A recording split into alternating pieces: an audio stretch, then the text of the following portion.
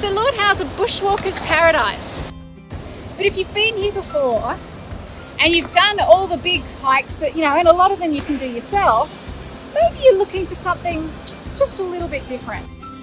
This is really unique because not many people get to go. An off-track walk to a feature called Above the Cross, which is on the northern edge of Mount Lidgbird.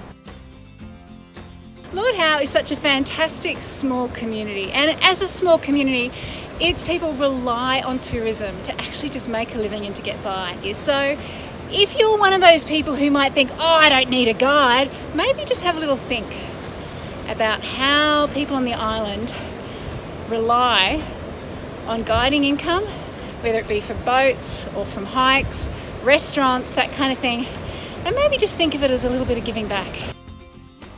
You've got the top of each lava flow there identified with the red coloured oxidised basalt. See a lot of gas incorporated into the flow itself, so identifying lava that's been brought up from very deep very quickly.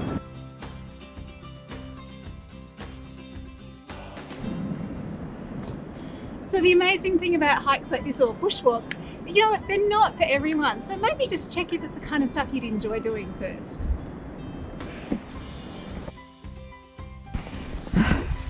And now it gets even more interesting.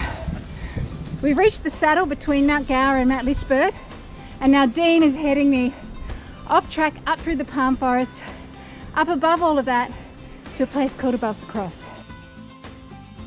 And at this elevation point we start to see some interesting changes in the vegetation. Uh, trees like the scaly bark. So this guy is really beautiful, it's endemic to this forest the great thing about these spiders, and the, well actually the great thing about Lord Howe, is it's kind of a bit like New Zealand. Nothing here is going to hurt you or bite you.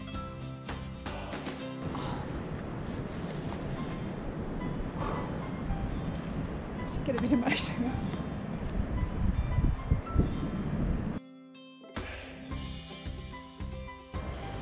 And it is views like this. This is what makes going with a guide like Dean here so worth it.